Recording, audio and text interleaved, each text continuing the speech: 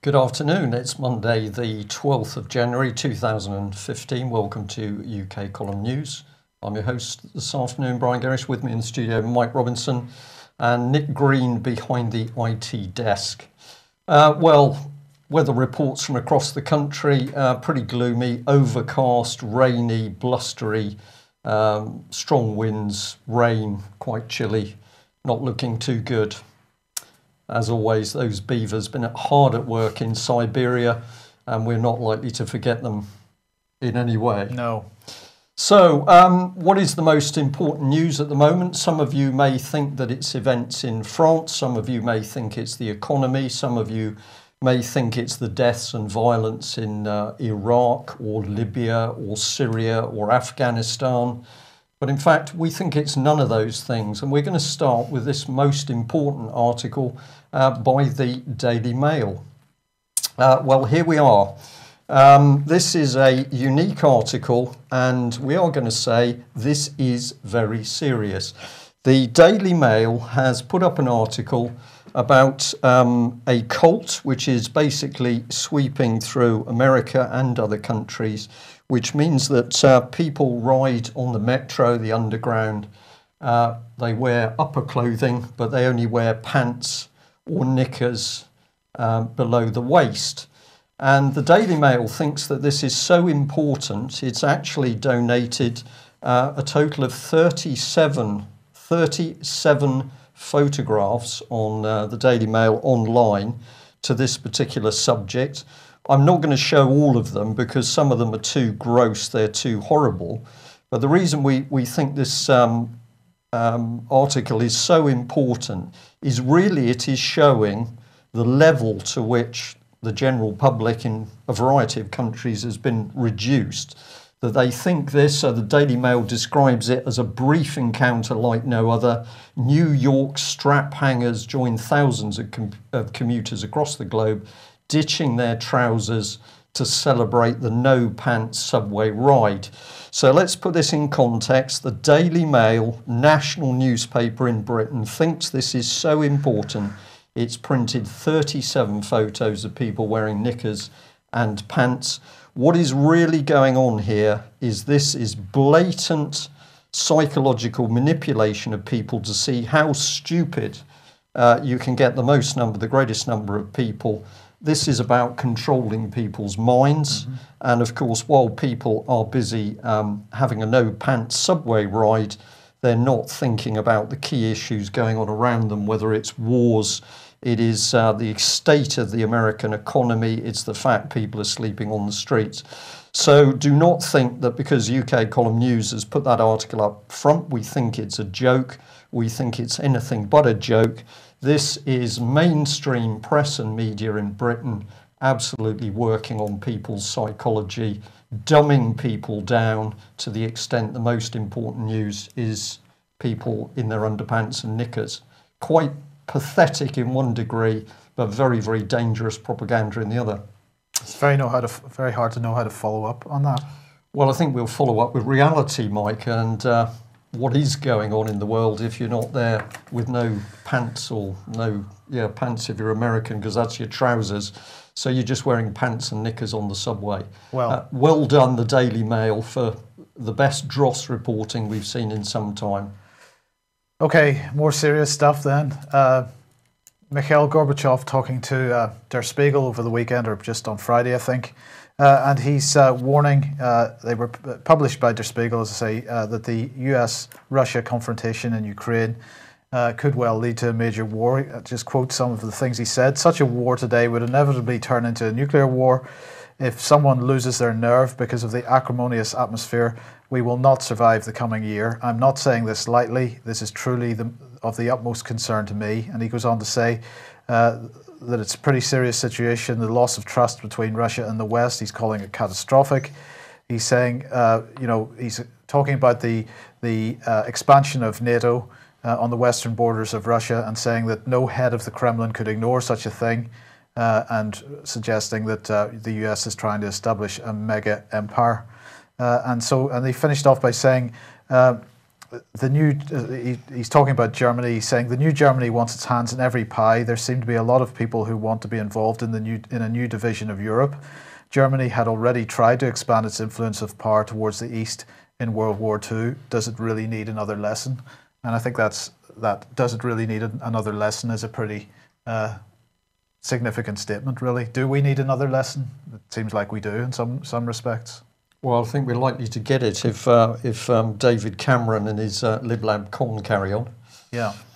Um, well, um, have a look from another direction. So while we've got the uh, the uh, dire comments um, by Gorbachev there, uh, we've got this um, article here in the Daily Telegraph. German army must promote more women generals. Not enough female generals in the German army, laments the country's defence minister. So, um, what did this lady had have to say? Well, she said there's there at the moment there's only one, i.e., one general. There's only one general uh, in the history of the Bundeswehr. This is a lousy proportion, so we have to consider quotas with clear timelines. So this is nothing on um, this is nothing about performance. This is not nothing about the right person for the job.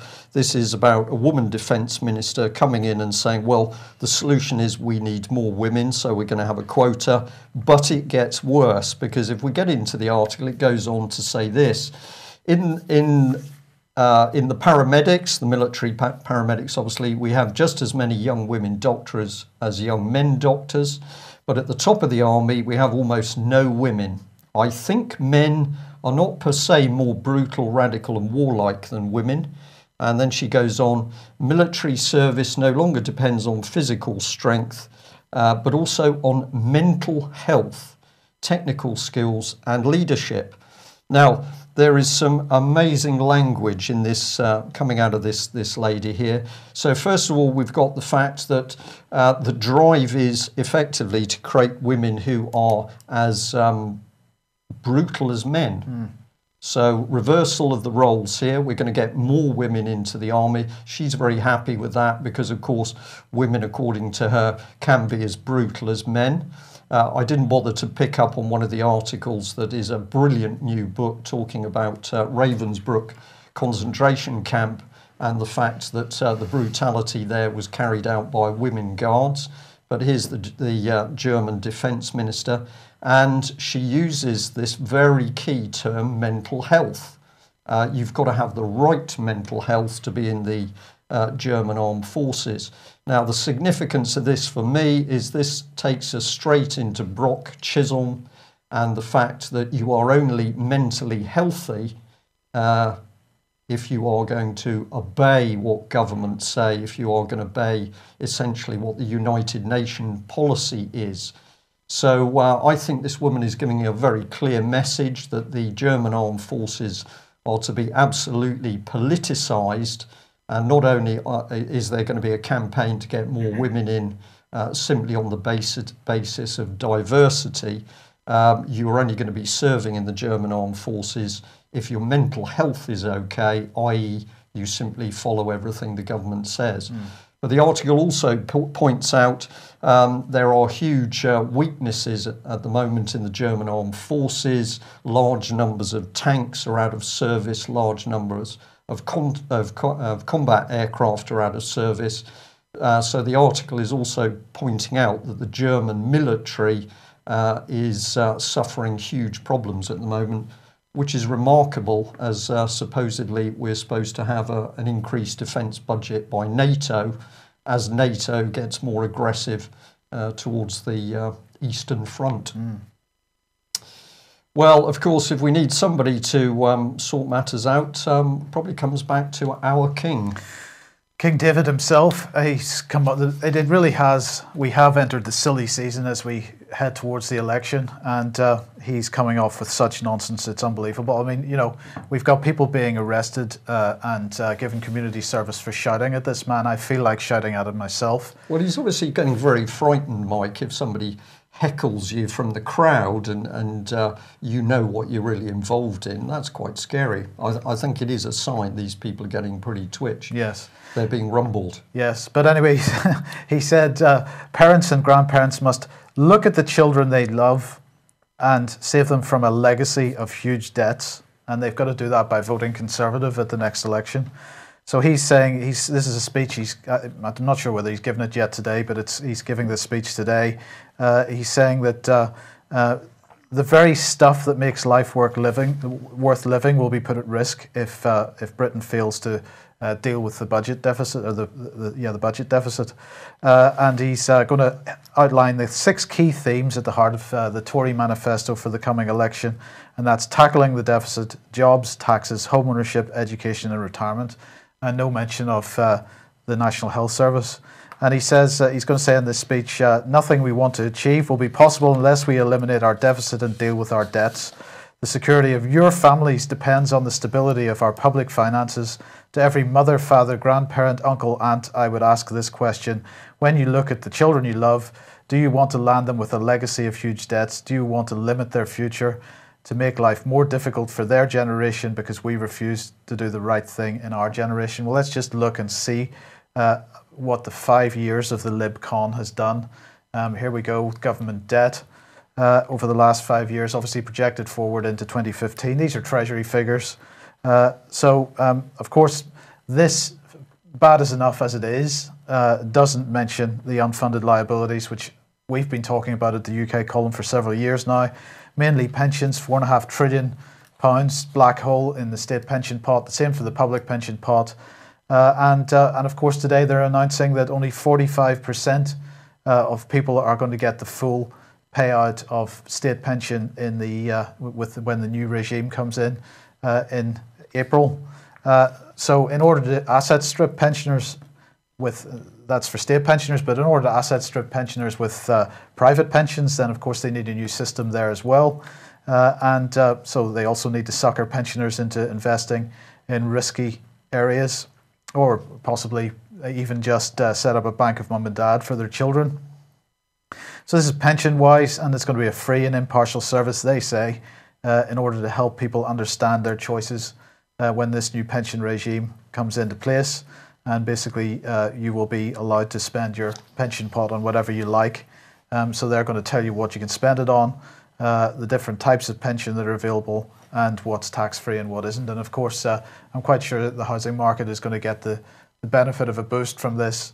But equally, we're going to see pensioners uh, investing in uh, things which end up losing money. So um, more diversion of private money into into you know money which has been saved uh, over decades into into private corporations and so on.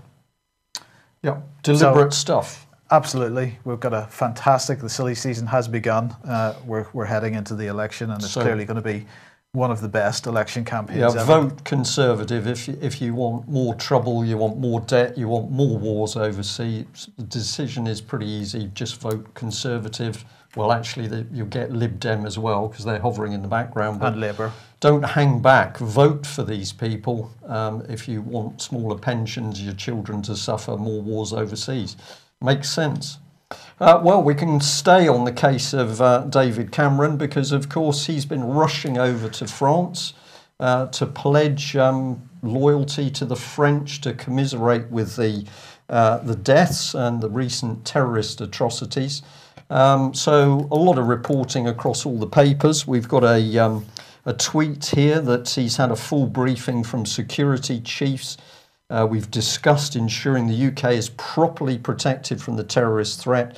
We've had buildings in London uh, covered up with um, um French uh, with lights reflecting the French flag. We've we've uh, poured millions into solidarity with the French. Um, of course, uh, the French now deploying thousands of police to defend Jewish schools, I think, as a result of the, uh, um, the supermarket incident. Um, my question is where were the French government when we were having terrorist atrocities in Britain and multiple deaths in bombing incidents in cities, not only in Northern Ireland but in Britain? Did we see any sign of uh, French? Uh, um, politicians coming over to Britain? I don't think we did. So there's something going on under under this, in my opinion, Mike. Uh, we've got this drive to, to we've got the police having um, silence to uh, uh, show solidarity with their French counterparts. I think we've got a big propaganda machine working to try and push Britain and France together as though we are lifelong friends. What do you think? I don't think it's just limited to Britain and France, but we'll we might come We'll- on to a bit of this later on. Okay. Well, we just thought we would uh, remind viewers of some of the things that uh, UK Column exclusively has been warning about. And uh, let's have a look at Cameron here. Uh, we said to understand David Cameron's treason against the United Kingdom and our armed forces, uh, you've got to read the Franco British Council plan, which is effectively was effectively to destroy Britain's military capability. And it was only the UK column that asked the questions as to what a so called charity was doing, having secret meetings, which was in advance of Britain's strategic defence review, which then revol- re- results in David Cameron announcing to the nation out of nowhere, with no debate in Westminster, that we're going to have a 50 year military partnership with the French. So, to my mind, events in France, we'll take it at face value at the moment. Uh, a lot of people uh, pretty unsure about what really happened. Uh, we will say, okay, so a terrorist event has happened in France. Why have we got this massive uh, propaganda push uh, to try and say that almost, um, you know, Britain and France in bed with each other? Uh, well, let's not forget um, Mr. Nick Clegg, and uh, he's been speaking out on radio, of course, as he likes to do. You notice in the two shots that we've shown, David Cameron, I thought he was looking quite gay in his uh, little neck scarf there in front of the window and his, his hair neatly done. And then, of course, we've got Nick Clegg, no tie, because he's being one of the people, he's being relaxed, he's one of us. Uh, but my goodness, he was hammering. Um, Nigel Farage and basically saying, well, it was outrageous that Nigel Farage had dared to talk about it, immigration. So we'd just like to remind people here that uh, we've got Nick Clegg, unelected Deputy Prime Minister, Europhile, mentored by Leon Brittan, unaccountable President of the Privy Council. I think he still is. Yes. And um, he gives uh, Nigel Farage a hard time because Nigel Farage dares to make some comments about immigration. But uh, let's have a look at this because this was Julia Middleton's book, Beyond Authority Leadership in a Changing World. So, the political charity Common Purpose, Chief Executive Julia Middleton. Let's remind people what this lady was saying several years ago. Uh, she was saying that we can change the country by setting up useful idiots. Uh, we could use expert idiots, uh, university professors, so called advisors to government. Uh, we should be building coalitions and conspiring to change the system to the new model. These are Julia Middleton's words in her book, not mine. And she said very clearly that uh, any opponents of what they were trying to do, we just run over them, undermine them, go round them, or discredit them. But she also said this that uh, the aim was to get two or three determined fifth columnists on the inside. So there is the direct um, um, comment on the use of fifth columnists. But let's remind ourselves it was Nigel Farage who actually said, We have, I'm afraid, uh, mercifully it's small, uh, but we do have a fifth column within our countries. So Nigel Farage indicating on what had been happening in France. But of course, the big lie is to move the debate onto a threat from immigrants when we know that we've got uh, political subversion and a fifth column operating in our own country, and the woman's even telling us what they're doing. Yep. So, is this part of it? Uh, because we've got a nice headline here from the Daily Mail um, saying that uh, Prince Charles, well, he's been a bit of a, he's been a bit silly really because he's been having ISIS products in his shop. Um, it's all a bit of a ghastly mistake. Uh, just happens to be announced at the exact time that we're beginning to ramp up. So I'm, I'm saying, is this a mistake by Prince Charles, or is this the royal family also getting involved in politics to ramp up the rhetoric for the clash of civilizations? And if it isn't Prince Charles, then uh, we've got to look no further than Fox News, uh, because they've used a, Well, that's Rupert Murdoch, isn't it? uh, indeed, yeah. So um, they've used a so-called expert who said, "Well, uh, excuse me, Birmingham is totally Muslim." Uh, in Britain, it's not just no-go zones. There are actual cities like Birmingham that are totally Muslim, where non-Muslims just simply don't go in. Well, of course, utter nonsense, but nevertheless pushed out primetime American TV. And uh, we're going to ask the same question is this ramping up the rhetoric uh, to help a clash of civilizations, um, or is it just deliberately inaccurate reporting? This stuff cannot be accidental, no. and we're seeing we're seeing this massive push at the moment to distort people's perception of what the news is.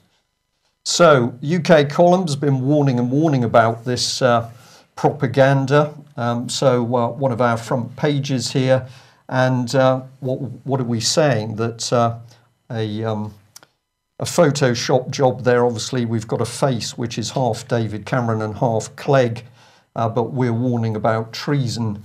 Uh, between the British military and the French, we're talking about um, squaddies dying to protect the opium crops.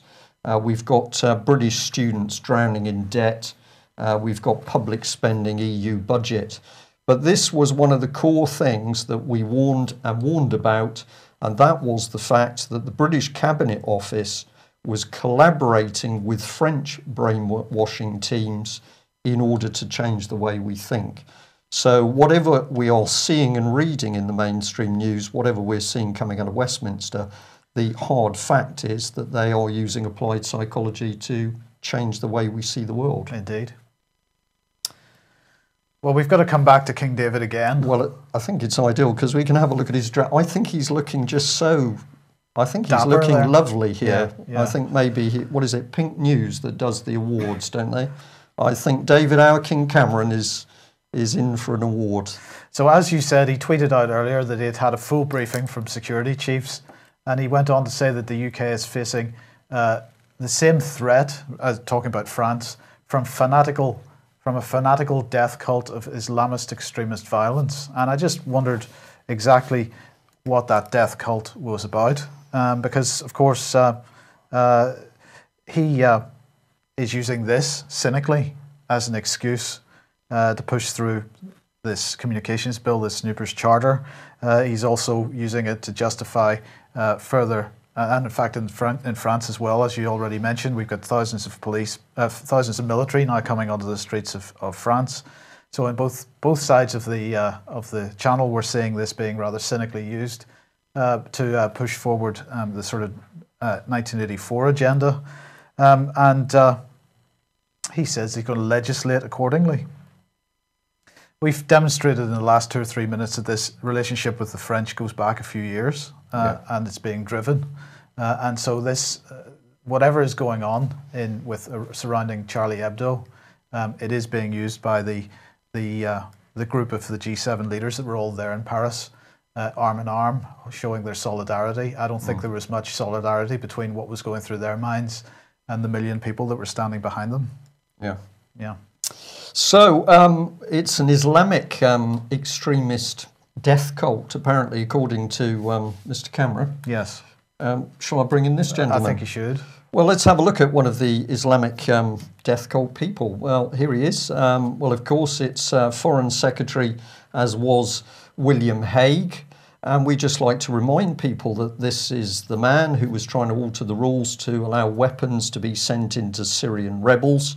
Uh, so we've got conservatives and, of course, Lib Dem and Labour people working to stoke up the violence.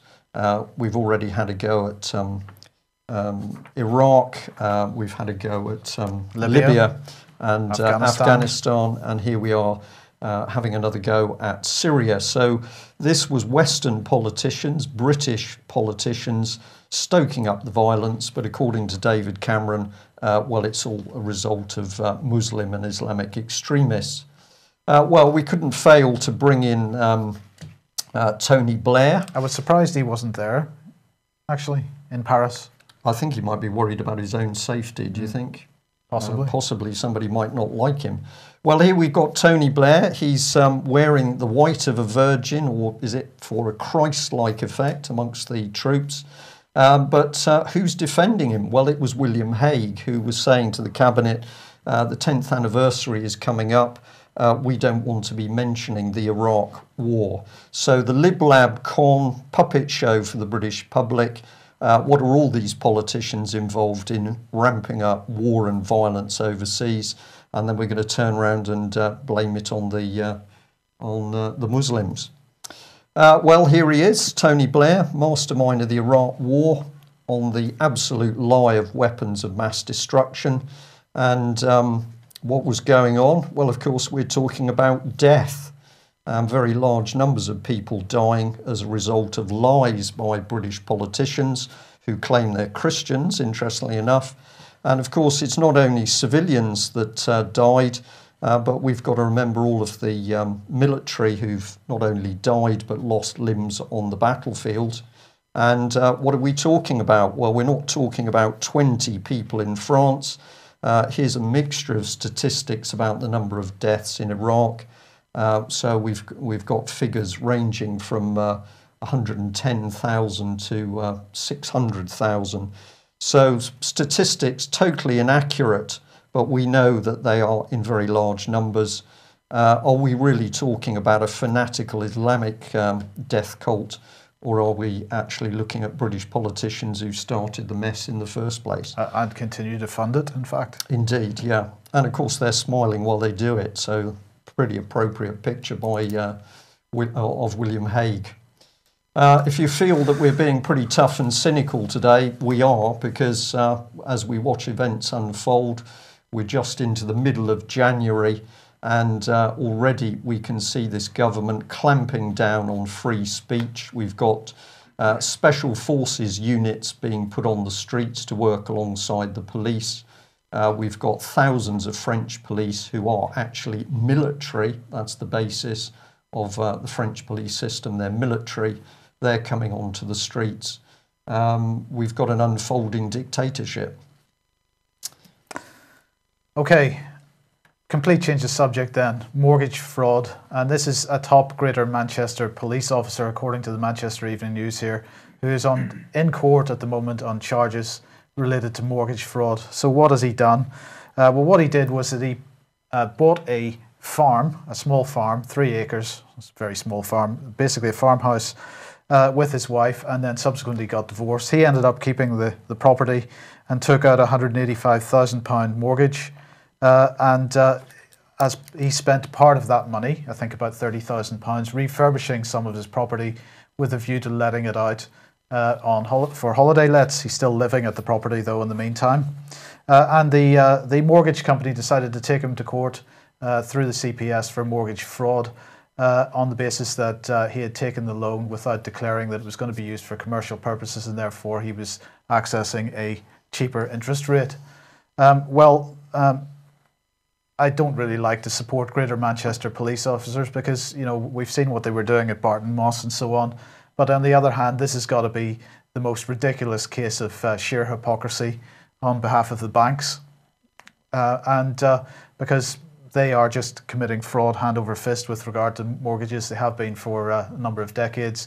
Uh, the terms of the mortgage, people say that, uh, well, people, you know, we all enter into, if we take out a mortgage, we all enter, enter into the, that agreement and we should pay it back and so on, and indeed we should, uh, but uh, only if the terms of the mortgage are fully declared and if the banks aren't in the meantime uh, manipulating interest rates uh, to make sure that uh, you are paying more than you need to pay. Uh, so sheer hypocrisy in the in the case of the banks here, and we'll just say that um, at the conference in on the first of March, um, we will we expect 90% chance that Mr. Ebert Guy Taylor's uh, colleague, is going to be speaking about fraudulent documentation and specifically about mortgage fraud. Um, and uh, so that's going to be a particularly interesting uh, discussion. If for, whatever reason he is not able to be there, we will have alternative arrangements and made. In other, in other words, his presentation will be given uh, by somebody else. Um, but uh, um, Mr. Ebert very keen to come and do this, and we suggest everybody comes and listens listens to that because uh, we believe that he has uh, he is saying that there were something in the region. Was it forty five thousand uh, uh, evictions last 47. year? Forty seven thousand evictions last year, uh, and he believes that he can demonstrate that about ninety percent of those were fraudulent. Um, so a very significant part of that. also, just to like to remind people while we're doing the sort of plugs of Alex G's uh, launch party on the 29th of January at Waterstones in Peterborough. Uh, please go to that if you would like to. But if you are going to uh, attend that, please uh, email launch at alexg.com beforehand because he'll have uh, drinks and nibbles and just wants to make sure everybody is accommodated. Right. Okay. So, massive mortgage fraud, Mike, key to stopping it is for people to see how it's done. And of course, this is where uh, uh, to be able to understand the fraudulent documents, um, see to actually see these documents is a, is, is a key part of it. Well, we were speaking to Mr. Ebert this morning, and he is really, really keen that this issue becomes an election issue. Now, the focus of this conference is that the subjects that we talk about, we're asking everybody that attends to go out and take those out and make those election issues. Uh, and this is one that, that if you feel inclined, you feel particularly motivated by this issue, then then we're going to give you the tools to go out and make this an election issue. That's the point. Absolutely. So, talking of elections, um, jumps over the pond, I think. Yes, well, of course, next year is the presidential election, and uh, well, we have uh, two people uh, very likely to declare their candidacies in the not too distant future uh, Jeb Bush and Hillary Clinton. And I just wanted to highlight this uh, fantastic article on, uh, on RT. Suggest people go and read this talking about a bit of the history. They're mainly focusing on the history of the Bush family, but they do mention the Clintons as well. Uh, really, are we about to see a Bush Clinton uh, dynastic battle? Is what they're talking about. Uh, and they're highlighting some of the things. Glad, good to see it appearing in the mainstream press. RT's close to mainstream, I suppose. Uh, discussing the uh, the Bush family's uh, legacy of financing the Hitler regime and and the the money that went from through Prescott Bush, which is Jeb Bush's grandfather, uh, sorry, yeah, grandfather, uh, through Fritz Thyssen and the Union Banking Corporation uh, into uh, particularly German steel, and a lot of that money and that uh, steel production uh, being used for developing Germany's war capability. Um, so RT covering that and really sort of mm-hmm. saying what kind of people are we looking to elect uh, in the States. Some particularly fine documentaries on Hillary Clinton on YouTube. Uh, one of them's about uh, one hour, 43 minutes long. A lot of information, having a look at uh, fi- uh, financial background, what's happened to supporters, and certainly what's happened to people who've challenged the Clinton dynasty. Interesting that, that it's described there as equivalent to Game of Thrones. So what is this? A recognition that the uh, the political system is an absolute game. It's mm. theatre. Absolute theatre. Yeah. To keep us occupied. Okay, and uh, moving on then, uh, TTIP, uh, the uh, the uh, tra- Transatlantic Trade and Investment Partnership. Um, but European Union has now published um, proposals for for the next stage um, and for, in the negotiations with the United States. Uh, there's been quite a bit uh, on TTIP in the alternative media, very little in the mainstream media about the dangers of it. Um, but the EU Trade Commissioner Cecilia Malmström, actually, uh, is uh, uh, saying that she is delighted that we can start a new year by clearly demonstrating through our actions the commitment we made to greater transparency just over a month ago. Today's publication of our specific legal uh, proposals in the context of TTIP uh, marks an, uh, another first in the EU trade policy. Uh, so, one of the things that they don't uh, go into, however, is the uh, uh, investor state dispute settlement arrangements.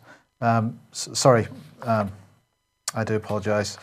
I've lost track of where I was going with that. Um, but basically, they, they go as far as intergovernment whenever there's a dispute between between governments, they go as far as that, but they don't go as they, they don't detail the the disputes between corporations and governments. And this is the area that many people are particularly concerned about because obviously um, this trade agreement potentially uh, makes it possible for for corporations to take governments to court yeah. uh, and attempt to bankrupt governments, and that's clearly a, the, the issue of sovereignty dangerous is absolutely dangerous. Step, step forward. Yeah.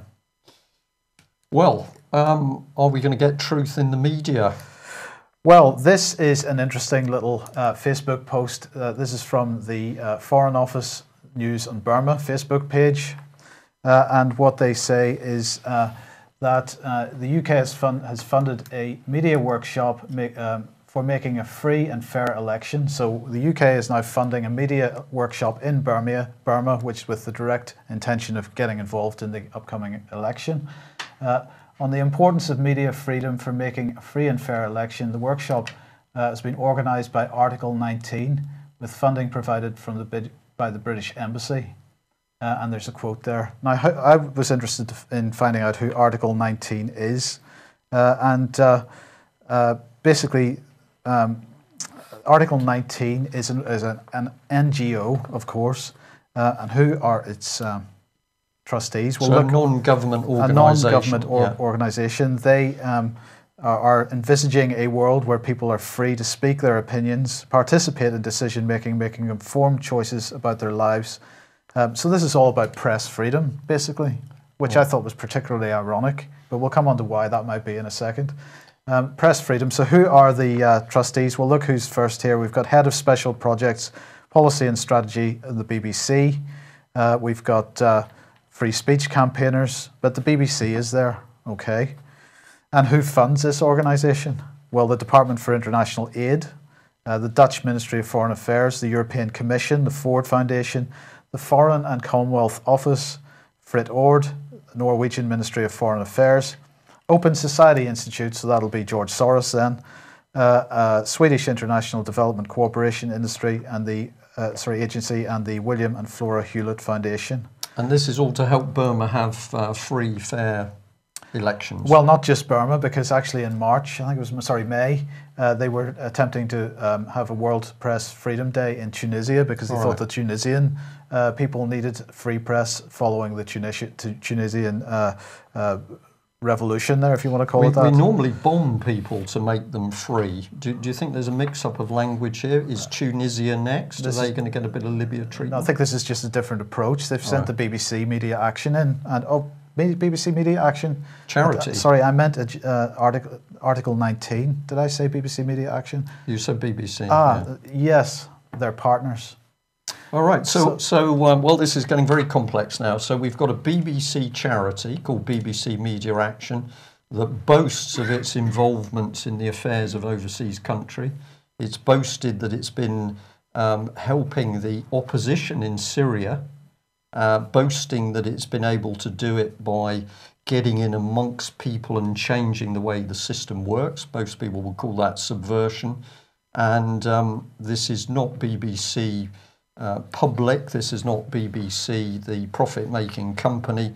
This is a BBC charity that's uh, helping people become democratic. Right, so this is a, now another charity called Article 19, which has as its first trustee a BBC, yeah. member of the BBC, whose partnership with BBC Media Action, funded by the Foreign and Commonwealth Office, and they're going into countries uh, to discuss media freedom with a view to elections. Right. Why don't they come into this country so that well, I was just going to come on to that because I just wanted to highlight Patrick's Patrick's fantastic article on 21st Century Wire, Je suis hypocrite. Please go and read this uh, because, uh, as he's pointing out, over the weekend we saw David Cameron in Paris uh, protesting arm in arm for press freedom uh, and freedom of speech with his other G7 club members, plus a couple of others. Uh, and this is the same David Cameron who quite happily, who was quite happy to make a serious attempt at shutting down freedom of the press in this country while Article 19 and the BBC Media Action and the Foreign Office work hand in hand, very hard hand in hand, to promote uh, press freedom in other countries. Um, so, what they want, of course, is not press freedom at all, neither here nor abroad. Uh, what they want is the freedom to push their propaganda into the press uh, without any opposition. Yeah, it's all pretty clear, isn't it? Yes. Um, it's a set of rules for people overseas, do as we say. Um, but um, back home it's going to be completely different. What is happening in Britain at the moment with regard to free press? Well, let's remind ourselves because uh, here we are uh, from the Press Gazette. Uh, they were reporting uh, that at least 59 UK journalists had been arrested since April uh, 2011. Can't quite read the date on that, but the point is that here we are in Britain, home of uh, free speech, common law, and justice. This is the uh, country uh, where the BBC is criticising Israel, or sorry, um, Egypt for uh, arresting journalists. Yeah, well, you criticise other people and bomb them if they don't do as you say, but at the home, you just get on and do what you want to do. Mm. So, UK arresting journalists and trying them, and of course, putting them in prison.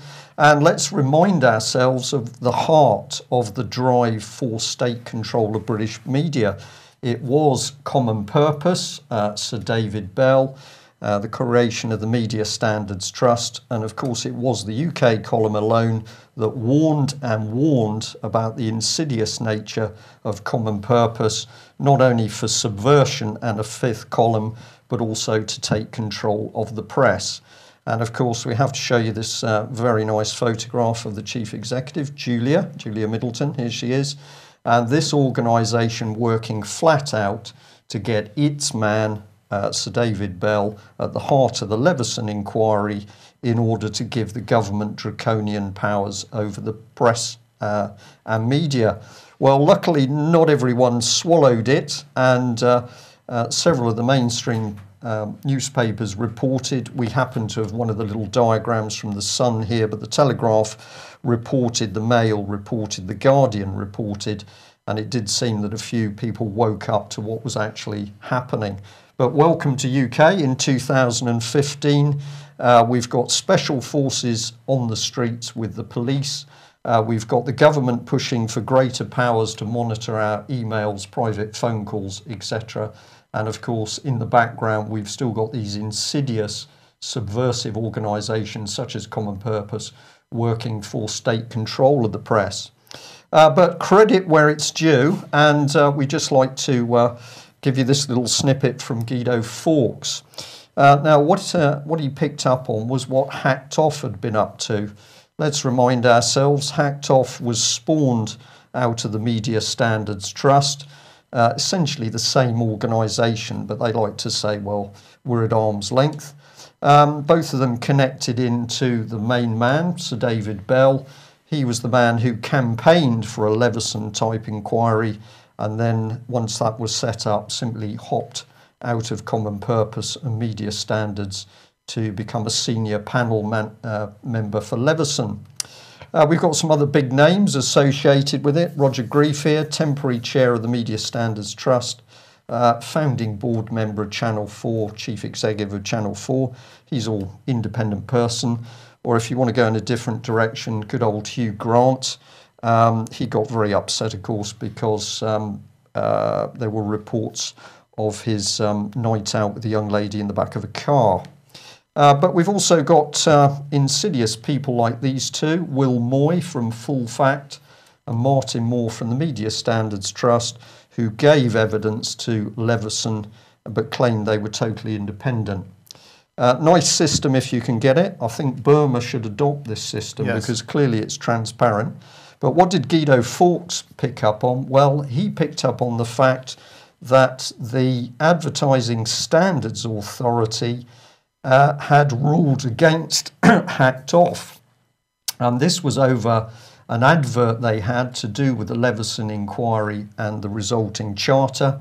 And on the left of your screen, this is what they said. However, uh, we considered the strong suggestion of Leveson's involvement in the Royal Charter alongside a conflicting statement regarding the indirect influence of Leveson's public inquiry recommendations on the Royal Charter provided consumers with confusing and ambiguous statements regarding the nature of any involvement of Leveson in the Royal Charter. As a result of this ambiguous information, we concluded that the hacked off advertisement was likely to mislead. The ad breached CAP Code Edition 12 Rules 3.1 and 3.3. It was misleading advertising. So the very group who campaigned for open upstanding and trustworthy media have just been uh, quite rightly pulled apart for misleading the public. Mm. Um, I think we should export them to Burma is, is, is the thing to do. So let's remind ourselves of, um, of this. We've been reporting on Nesta And thank you very much to the viewer who said, UK column, you've missed something. And what we missed was that Geoff Mulgan is actually the chief executive of Nesta. Now, remember that he comes from a background of Demos, a Marxist spawned organisation. And um, what's um, Mr. Mulgan good at? Well, reframing the British public. Uh, so here we are. We were talking about the behavioural insights team were working inside government, inside number 10, hand in glove with the Cabinet Office, now a private company, well, owned by the government, and of course also owned by Nesta. And we identified the good people involved with Nesta, including uh, Rothschild bankers, totally independent, of course. But let's put him in at the top of the tree. Here he is, Geoff Mulgan. And let's remember what this gentleman was involved with. Uh, he was chief executive of the Young Foundation from 1997 to 2004. That's the Young Foundation that puts money into every one of these reframing projects. Yes, indeed. Right, yeah, yeah. yeah. They've got our best interests at heart, Yeah. Mike. So don't don't worry about it. Okay.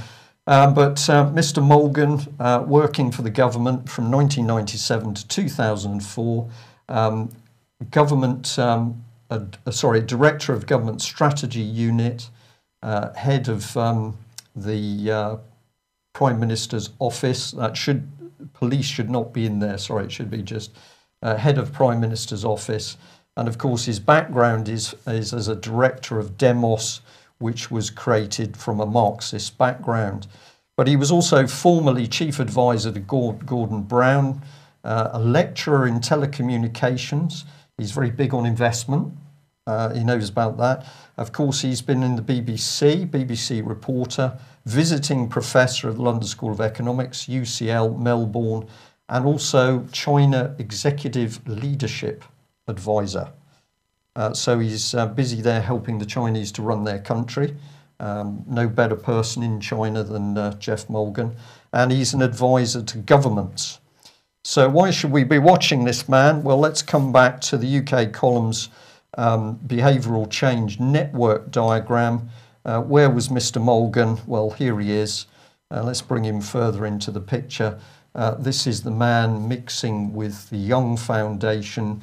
He's involved with Common Purpose, of course. Uh, Charles Landry, well worth having a look at, uh, remaking uh, charity in the 21st century. Presumably, that's politicising charities, and he's involved with the Foreign Policy Centre. And if anybody's in doubt as to his links with Common Purpose, here we've got a Common Purpose document boasting of the 10th anniversary conference at 17th of April 2000. Guest speakers Julia Middleton, here we are, trustee and member of Demos's advisory council. And underneath we've got Geoff Mulgan, also stouting a, a co founder of Demos in 1993 with Martin Jacques, former editor of Marxism Today. So, should we be concerned that we've got a Marxist um, buried at the heart of government changing our behaviour? I'd say so, but David Cameron doesn't think so. So, we'll end on a warning we've consistently given. Let's come back to Tony Blair, uh, who said in 2000 this. The Prime Minister has a vision of a new Britain. Central to this vision is the creation of a new class, a new elite, placed in positions of authority who will propagate the new spirit of the age and spread the principles of the third way across Britain. So there we are. For any overseas countries that want a fine model of de- democracy, look, look no further than Britain and David Cameron. Just ignore the wars and uh, arrest of journalists. Yes. So we'll leave you on that happy note. Uh, we will just say that tomorrow, the 13th, Robert Green will be appearing in court in Aberdeen. I believe the case should start at 10 o'clock. Uh, if any people north of the border can get there to give Robert support and to see justice being done, we'd encourage them to go. And I also understand that tomorrow, uh, sorry, on Wednesday, the 14th, at two o'clock, there is a very interesting conference on child abuse in Westminster. Uh, we'll try and give you some more details of that tomorrow. Uh, but isn't it noticeable that as the events in France have ramped up, So we're hearing less, less and less. less. about child abuse uh, by uh, senior government ministers, and of course, deaths of children apparently linked to British politicians. So all of that being nicely buried by the bad news of France. Mm. We'll leave it there. Thanks for joining us. We'll be back at the same time tomorrow. Rerun of the news at 2100 tonight. Thanks very much. Bye bye.